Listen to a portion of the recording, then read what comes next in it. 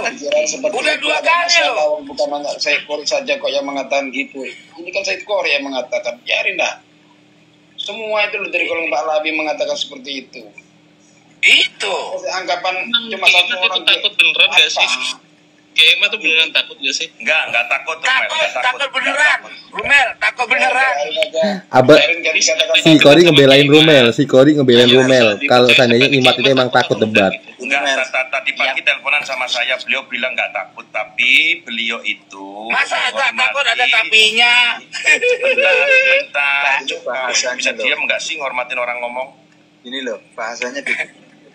ketika kita ingin menentukan sesuatu apalagi ini masalahnya panjang. Kalau cuma dikasih waktu satu jam setengah itu udah nggak ketemu nalar gitu loh Enggak, enggak, enggak, enggak, enggak segitu juga Mas. Ini bukan gini loh, masalah konteksnya teknis atau gini. durasinya, ini masalah datang atau Gini, enggak. gini, gini, gini Mas Rumel. Jadi gini, Lah. yang saya dapatkan dari Kiai Imat ini adalah karena memang ada banyak dari beberapa orang yang dianggap sebagai penasihat beliau memberikan saran untuk tidak perlu mendatangi di acara tanggal 7 September.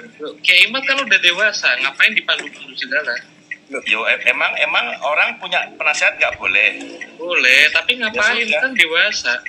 Nah, justru kedewasaan Ki Imat kemudian muncul dalam pemikirannya Nah, itu. apa? Itu. Dalam konteks yang Menerima. dinarasikan ketika podcast Apa alasannya? satu. Kenapa Robi itu nggak mau? Satu, dengerin dulu dong Bang Romel. Minta tempat yang Kocak, netral. kocak ini, kocak. Allah, Atau lucu, lucu, lucu, lucu. Si Robito itu kerjasama Jadi dengan ceritanya Kori ini Agama, lagi- lagi berantem sama Imat. Atau yang Udah tim-timnya yang Imat nyerang Kori semuanya. Yang ada eh, apa itu namanya UNER apa apa UNES. Kan seperti itu. simpang siur terjadi di TikTok ya.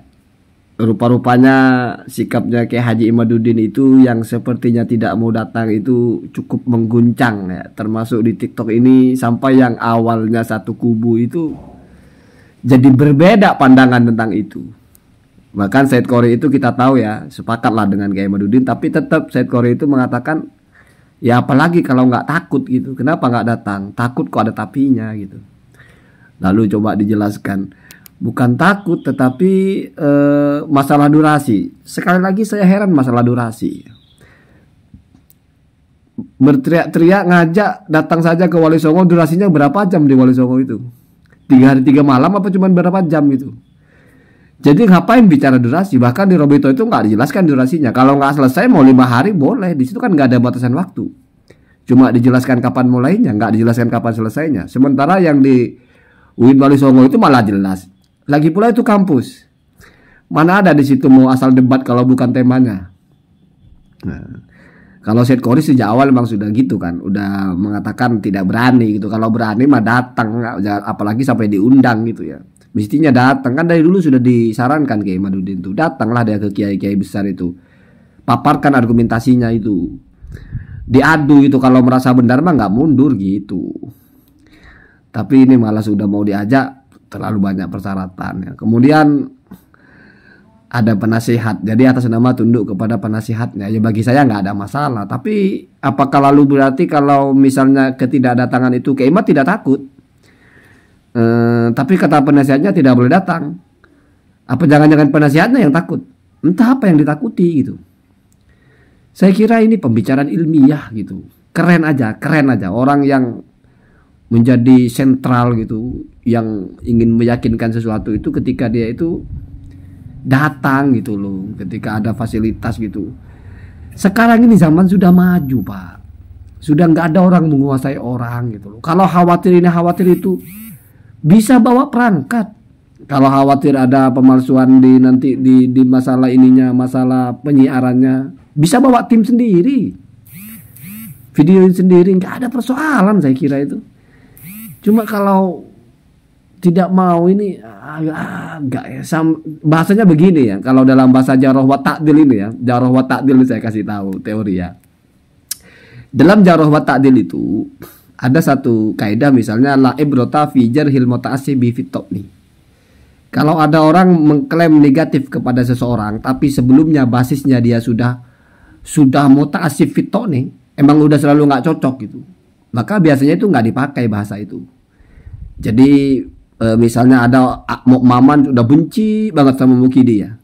Maka ketika Maman bicara hal negatif tentang Mukidi itu sudah tidak bisa dianggap sebagai jaroh yang makbul, tidak bisa dianggap sebagai penilaian yang objektif, penilaian yang adil gitu. Itu mesti berbasis kepada kefanatikan dalam tidak sukanya itu.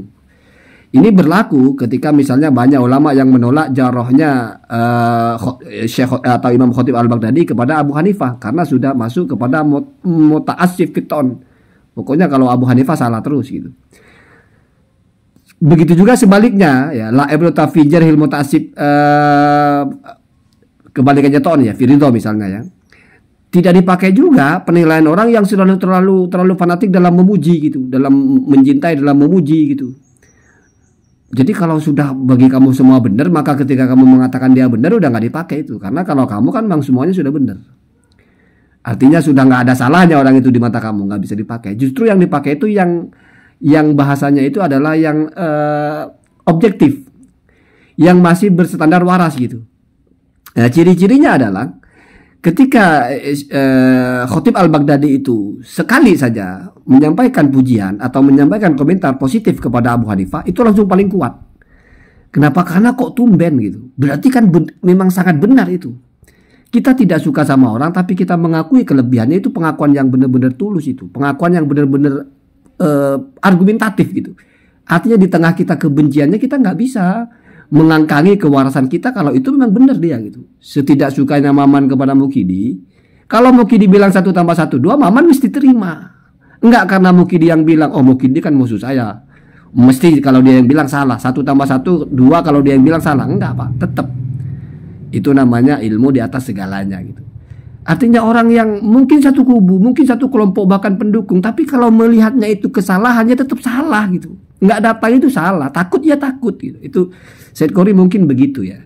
Artinya oke okay, kita sepakat, oke okay, kita satu paham, oke okay lah kita uh, sama dalam membaca kitab. Tapi masalah ini kok terlalu gitu, udah berulang-ulang diajak nggak mau. Nah, karena Said Kori dulu kan mau ke Banten itu. Itu masalahnya. Jadi kalau masalah takut nggak takut ya masuk akal juga penilaian Said Kori ini gitu.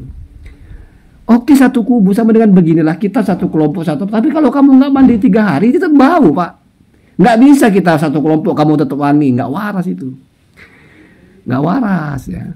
Jadi lemah penilaian kita kalau begitu. Tetap ya mau kamu sepakat tidak sepakat itu tetap harus dipakai nalar yang sehat itu dipakai gitu. Dari semua analisa udah begitu, nggak nggak ada lagi ya. Nggak perlu lah mentang-mentang satu kelompok lalu dicari pembelaannya. Oh gini, oh itu. Nggak nggak fair itu. Bagus kayak set Korea fair ya. apa adanya. Sejak awal kan begitu. Kalau orang merasa benar itu nggak ada takutnya pak ngadepin siapa pun nggak takut karena dia tahu kecuali kalau khawatir jangan-jangan punya saya ini ada bantahannya nanti saya malu lagi. Jangan-jangan orang itu sudah mengumpulkan semua bantahannya nanti saya nggak bisa jawab lagi. Makanya ya sudah tulisan aja dulu saya mau pelajari dulu. Ya kalau begitu pak jangan berkuar-kuar ya nggak jangan berkuar-kuar mau berdebat gitu. Itu mah berarti nulis-nulis aja nulis saja tunggu orang nanggapi lewat tulisan atau lewat pidato kita pelajari kita cari bantahnya tulis lagi gitu-gitu aja. Nggak usah nantang-nantang orang kalau begitu. Gitu ya. Jadi saya kira orang-orang seperti Said Kori ini di bagian ini tetap pada akhirnya itu memegang itu. Ya kita boleh satu suara boleh satu satu paham boleh kita ini termasuk satu kelompok. Tapi kalau satu tambah satu lima itu tetap nggak masuk akal gitu loh. Nggak lalu kita sekelompok lalu lima itu kita balik jadi dua. Nggak pak. Nggak bisa gitu ya. Jadi ya begitu ya jadi kesimpulannya adalah hater kalau menyampaikan celaan itu bisa jadi tidak objektif tapi eh, tapi berangkat dari karena sudah benci tapi kalau celaan itu dari fans itu adalah kritik yang tulus itu adalah kritik yang kuat argumentasinya Kenapa? Karena dia fanatik dalam mencintai tapi sampai muncul kritik. Ah, itu berarti benar-benar ya.